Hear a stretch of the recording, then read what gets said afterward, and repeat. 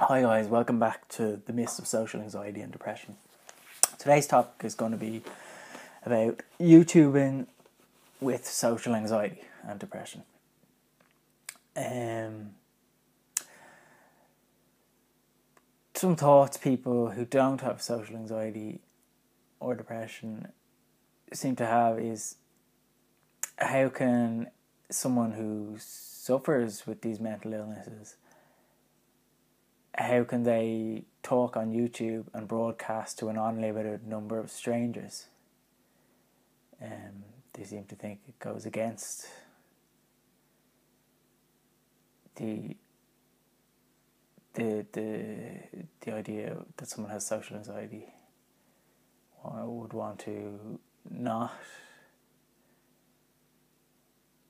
speak out to an an infinite number of people, um, and they'd want to keep everything inside, as it were.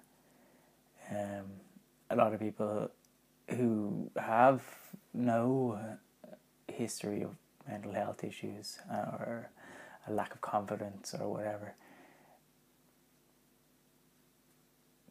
simply have said that they they couldn't um, have a YouTube channel, they couldn't, they wouldn't be able to create content for a wide audience. Um, it seems bizarre to them. So I can, I guess I can kind of understand uh, a little bit why they can't really understand how people like me would be able to um, to put the content out there. Um, or the, also some people have sort of made it clear to me that I may be easily identifiable via Google search or whatnot. But my name isn't directly connected with this channel and it's not it's not you can't type in my name and this channel is going to come up you know it's and even the very fact that they think and I've suggested that it's easily identifiable that sort of says something in itself um, sort of hints at that what I'm doing is shameful or I should be embarrassed about it or it's something that I don't want others to know about me.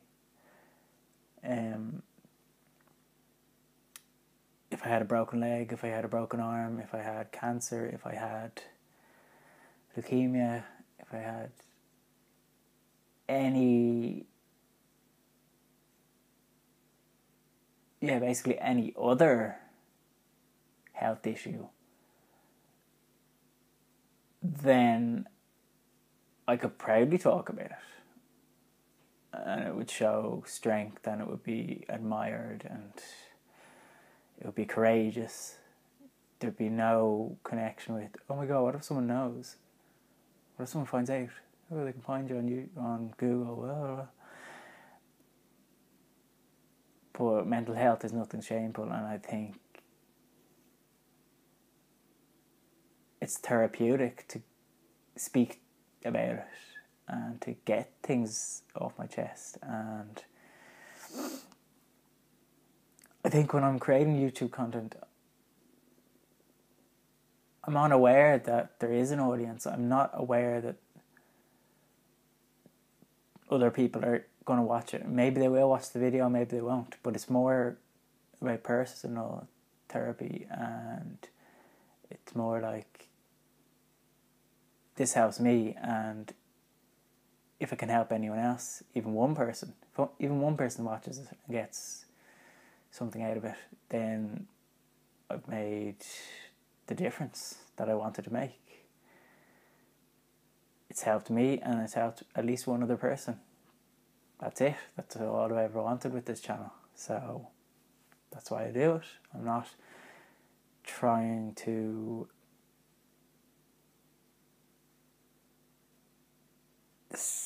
visualize speaking to millions of people. um, yeah, so if I had physical illness, there'd be no there'd be no stigma stuck with it, attached to me t- discussing it in the public realm. Um, but because it's mental health, there's a bit of a taboo, but not for me. So, other things people without social anxiety have said, um, uh, maybe it's not social anxiety, maybe you're just shy. That's the older generation's view. Um, you're just shy, oh, he suffers with his shyness or whatever.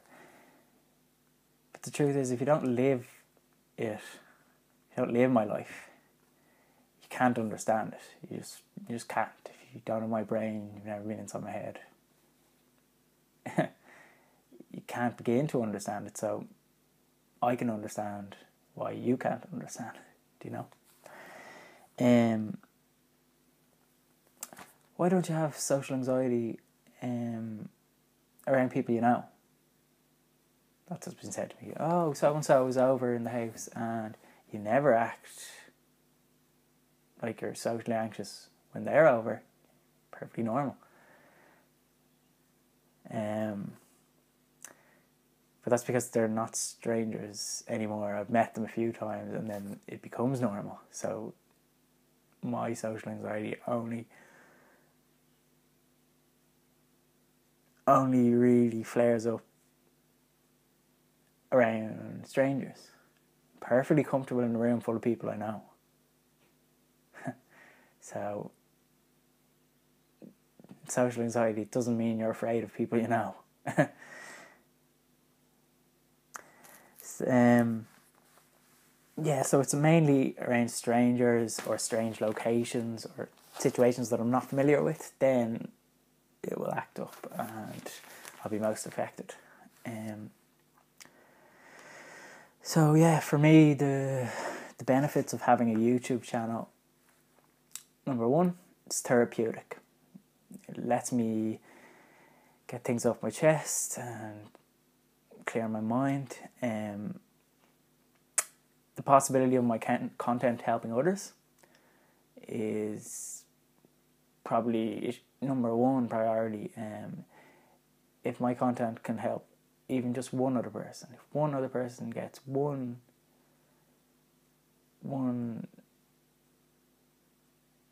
t- thing of value from this channel, then that's my job done. All I wanted to do is help other people who may need someone to relate to or some advice from from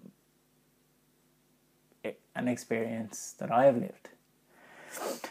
Another bit is it helps me work through different aspects surrounding social anxiety and depression. So it's it's an outlet for getting things off my chest. Um, let me see if there's a few other points I noted that I wanted to include in this video. Um, yeah, you can't please everyone all of the time. You have to follow your heart and do what you think is best. Maybe it's unfair to expect others to understand your life with social anxiety and depression. Um, because the the thoughts you have and the life you are living inside your head is completely alien to them, and that's not their fault. Just like so having social anxiety and depression isn't your fault. Um, I yeah, I've I've sort of decided to make this channel a priority of mine. It's something I want to stay focused on and make it take a lot more serious. Because social anxiety and depression, it's a big part of me, and I shouldn't have to hide that. So this is my channel and I'm gonna keep keep on at it and for the people who can't understand why I want would want to have my opinions and my face out there in YouTube land. If it's not for them, it's not for them. I think it helps me, so I'm gonna stick with it. Until next time, guys. See you later.